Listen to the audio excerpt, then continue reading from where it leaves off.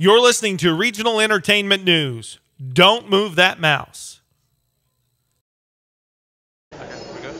Hi, I'm at the Hard Rock with Larry Thomas. How's it going today? It's going great. It's a lot of fun. Just watched uh, someone eat an eight and a half pound burger. Well, I say you and me, we both have something in common. We both enjoy journalism. Cool. Yes, that was my first major. Do you still try to follow that with all the news?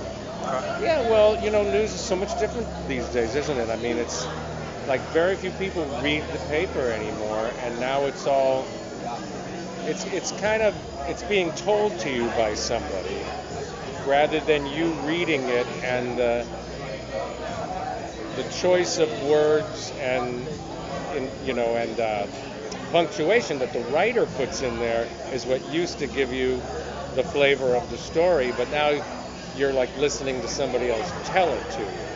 You know, there's much less reading of it, so it's different. I want to say, do you have any journalists that you actually followed or that were uh, inspired you to do that when you were in college? Well, you know, when I was growing up, uh, you know, we had the greats Cronkite and, and Huntley and Brinkley, and uh, you know, and, and it was it was a different kind of thing then because news it tried back then to be totally real news, you know. Uh, like when the networks all first started on television, it was mandatory to have news without commercial breaks. So it wasn't part of the hype that, that sold Wheaties or anything like that. So it was, it was so much more real in those days. So I really respected those guys because they were just reporting, you know. They weren't editorializing so much. And so they those guys inspired me. And you know, guys like Sam Donaldson and you know, now these days, I mean, there's still great people out there. You know, uh, Anderson Cooper and Wolf Blitzer, they're still going, and they're they're great people. I want to say you've had a successful career ever since starting on Seinfeld, and then you did a cameo in the Austin Powers. How did that come about? The the Austin Powers thing. Yeah. Well, I had actually, my manager was trying to get me the part of number two.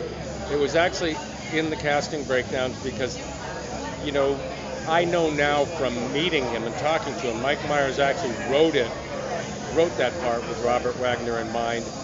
But at the time, it was a low budget movie, and Robert Wagner was in, I think, you know, like semi retirement, and they couldn't afford to pay him what he was used to getting. And so he was really taking his time to think about whether he wanted to do it or not. And up till the very last day of casting, as far as my manager was concerned, I was still being considered.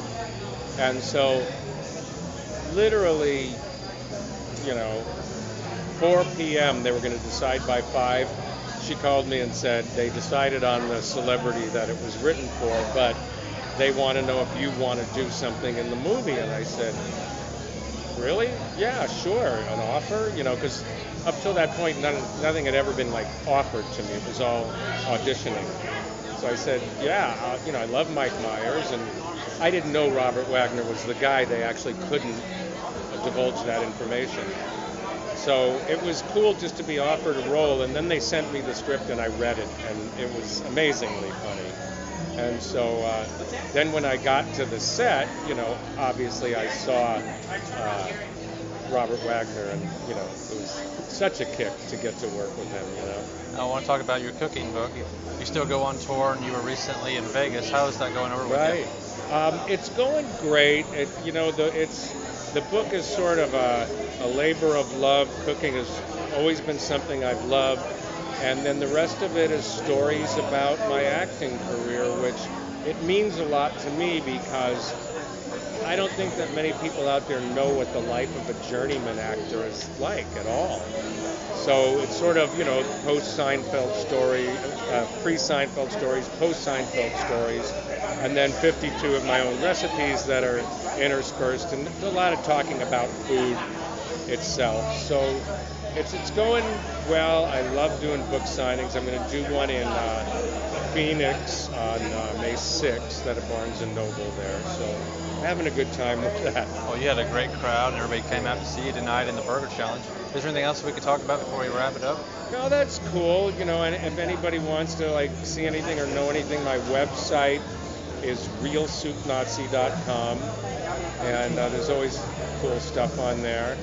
And uh, I guess that's it. I had a great time, and it was amazing watching uh, uh, Robert eating a uh, eight and a half pound burger in 30 minutes. That's some type of record.